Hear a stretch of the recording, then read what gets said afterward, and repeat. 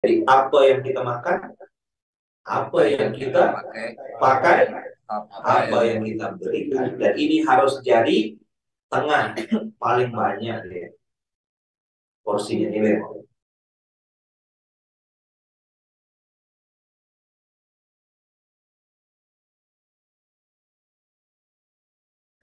Rezeki itu tiga. Apa? Rezeki itu tiga. Ada tiga. Satu, apa yang kau makan. Apa yang dimakan. Pak dokter makan apa hari ini? Oh pisang. Betul ada rezeki. Pak dokter makan apa? Buah anggur. Pak branch manager makan apa? Karena Pisang. Makan anggur juga. Loh, saldonya beda jauh. Tapi makanannya sama. Iya. Artinya sama. Satu. Yang kedua, apa yang kau pakai? Yang saldonya minta maaf, pakai jas. Yang saldonya lipat-lipat, tidak pakai jas. An Anas bin Malik radhiyallahu anhu. Man kanatil akhiratu hamma ja'alallahu ghinahu fi qalbihi jama'alahu syamluhu atathu dunya wa hiya.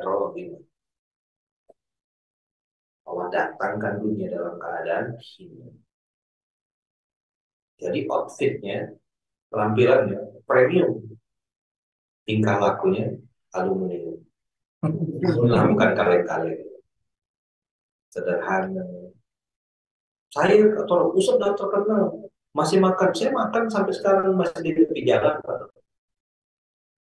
Sampai sekarang masih makan di tepi jalan. Ada tengah jalan. Masih saya orang bilang, eh pusat kok di sini? Jangan, tidak apa-apa. Saya tidak pernah ngerasa terkenal. Inilah yang Allah janjikan lewat Rasul. Tapi kalau orang itu dunia yang jadi cita-citanya, ja'allallahu faqrahu baina ainaihi. Allah jadikan kemiskinan ada di matanya. Punya duit 5,9 triliun, masih kurang. Mantap kan? 5,9 T Pak Dokter. Dan tidak merasa kaya. Dia kumpulkan stakeholdernya, dia kumpulkan board of director, dia, bilang kita harus tambah supaya bisa jadi 6 triliun tahun depan. Saya tidak mau tahu 5,9 jadi keadaan. Ini kisahnya ke bos. Bukan saya lagi ngayal-ngayal. Tuh lihat ayatnya. Ja'alallahu faqrahu baina Udah berapa bisnis yang halal, eh bikin-bikin bisnis yang haram bikin kafe khusus untuk gay gayu. Padahal dia bikin bisnis, bisnis yang haram. Sudah ada gitu. Saking pengen tambah duit, bikin bisnis yang haram. Tahu. Yang kedua, Farrakallahu alaihi syamlahu. Allah cerai beraikan urusan saya. Bisnis jadi bikin berantakan, usaha jadi bikin babak belur. Farrakallahu yang ketiga, walam yaktihi minad dunya illa ma lahu.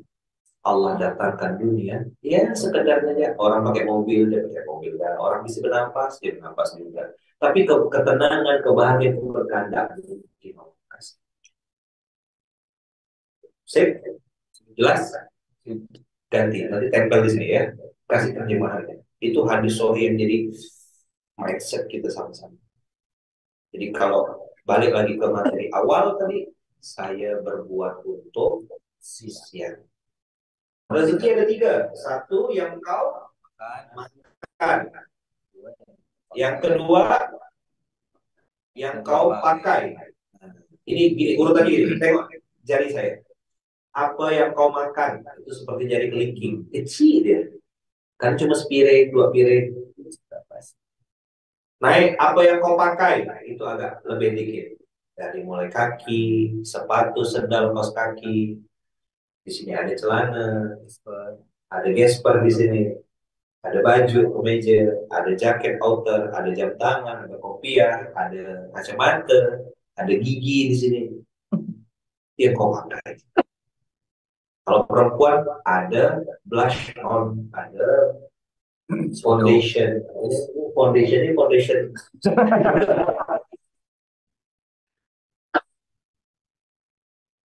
yang kau pakai Tapi ini udah lumayan banyak nih.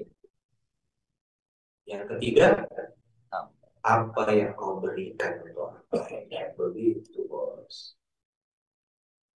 Ini ya, tolong dicatat ya, biar jadi rule juga Pak Dokter mumpung saya ketemu. Ngasih ke orang miskin, ngasih ke guru ngaji, itu bagus. Tapi ngasih sama orang yang mikirkan guru ngaji, itu keren. Itu investasi 273 saya sedang tidak minta-minta sama antum sedang tidak bukan saya saya bukan saya orang yang belajar Quran itu bagus. Tapi antum ngasih sama guru yang ngajarkan Quran itu hebat luar biasa. Makanya saya bikin program Indonesia Mustahil Lapar itu guru ngaji kampung tukang gali kubur mandi jenazah marbot masjid kenapa saya kasih mereka mereka mereka ini orang-orang yang berjuang hidupnya untuk besarkan agama orang dia fakir, dia miskin, dia dia perlu gitu. Sorry, bukan bukan miskin. Dia fakir, dia membutuhkan. Makanya kalau antum ketemu sama para habaib, mereka selalu bilang al fakir, dia menyebut dirinya al fakir. Al fakir illa afi. Orang yang amat sangat membutuhkan. Di surat al surat fakir, ya ayuhan nas, antum al fuqara ilallah. Kalian itu fakir, membutuhkan Allah. Maka lil fuqara alladziina uhsinu fi sabilillah di Al-Baqarah 273 antum investasilah harta antum kepada orang-orang betul-betul berjuang di jalan Allah. Sedikit memang baru 800 orang yang kita support. Tapi Masya Allah, Tabarakallah, dia tiap hari hampir 24 jam mikir karena anak di kompleknya, anak di kampungnya, di hutannya, itu ngaji-ngaji. Makanya kemarin Pak Dokter datang ke saya, saya bilang Pak Dokter kalau mau kumbang, saya bilang mau support, saya rekomendasikan kasih ke guru ngaji kampung. Kasih ke tukang gali kubur, kasih ke tukang mandikan jenazah. Kasih ke orang-orang yang selama ini tidak nampak, tapi penting. Di Jogja banyak juga kan? Coba cari data. Banyak kan? Tukang gali kubur. Di sini gali sendiri kan orang? Atau digali kan? Digali. Itu kumpulkan orang-orang itu bikin acara. Jadi DRW Foundation, saran saya Pak Dokter, tidak lagi memberi kepada sembarangan. Produktif. Itu disebut dengan mustahil produktif. Di data kalau di IMM itu data detail. Sholat tak orang ini? Kalau tidak mau sholat, ada juga yang kali kubur tidak sholat. kalau marbot masjid tidak sholat tuh ya memang keterlaluan. Tapi kalau kayak mandikan jenazah dan ngurus kuburan banyak yang nggak sholat juga. Ada beberapa yang saya pernah tahu itu tidak ya kan? Kita tidak mau kasih yang kayak gitu. Kasih yang sholat. Kasih yang taat clear antum sebagai tim pendamping. Jangan sampai distribusikan duit-duit ini ke tempat-tempat yang investasikan. Kalau antum bingung tanya sama Bronx mana ya tanya sama siapa Bronx dia tahu tempat di mana Begitu kira-kira? Cukup? Jadi yang sederhana apanya? Sikap. Ya, kalau antum ada orang yang membranding seseorang dengan penampilannya sederhana, itu dia sedang nipu antum. Karena Islam tidak mengajarkan itu. Yang sederhana dalam Islam adalah sikap. Oke? Sip? Jadi apa yang kita makan, apa yang kita pakai, apa yang kita berikan. Dan ini harus jadi tengah paling banyak ya porsinya ini apa yang kita makan apa yang kita pakai apa yang kita berikan. Sip urutannya gini. Prosentase. Oke orang tiga puluh juz tiga puluh juz apa yang kita makan apa yang, apa yang kita pakai apa yang kita berikan Sip? Bagus nggak kalau pengusaha muslim soalnya pakai jam tangan Rolex? Bagus. Orang percaya. Uh, kita muslim tuh bisa kaya ya. Tapi pakai Digitech juga boleh 150 ribu. Beda aku kerja sama-sama 15. Satu 150 ribu, yang satu 150 juta. Beda nol ya. Apa yang kau pakai? Boleh masuk di sini. Imam Malik tuh karpetnya tebal, parfumnya premium. Imam Malik coba baca riwayatnya.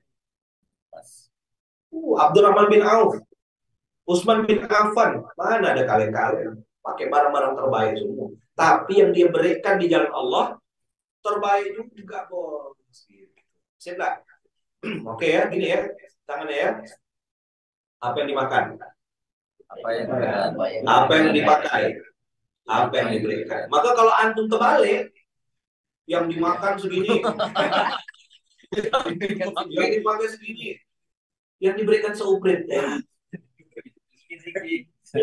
Kalau turun lagi, diabetes langsung.